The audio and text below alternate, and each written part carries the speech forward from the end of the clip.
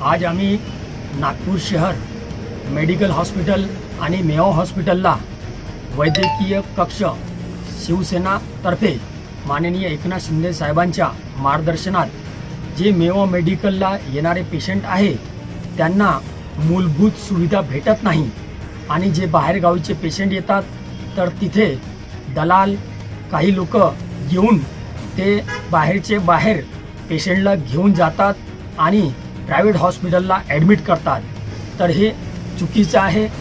आणि मेवा हॉस्पिटल आणि मेडिकल हॉस्पिटलमध्ये साफसफाई होत नाही आणि औषधी बेडची फार कमतरता आहे. ते सर्व पुरवठा मिळण्याबाबत माननीय एकनाथ शिंदे साहेबांना आम्ही नागपूर शहर वैद्यकीय कक्षतर्फे निवेदन देणार आहोत.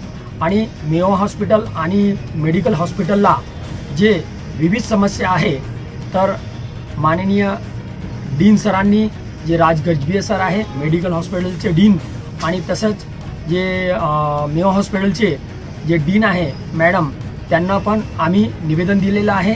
तर या सर्व विषयाला त्यांनी गंभीरता घ्यावे याकरिता आम्ही त्यांना निवेदन दिलेलं आहे. आणि मेवा मेडिकलला पण आणि हॉस्पिटलला मेवा हॉस्पिटलला पण ते पेट्रोलिंगसाठी जे फार कमतरता आहे कारण की बाहेरचे लोक येऊन तिथे बसतात आणि काही ड्रिंक वगैरे घेतात.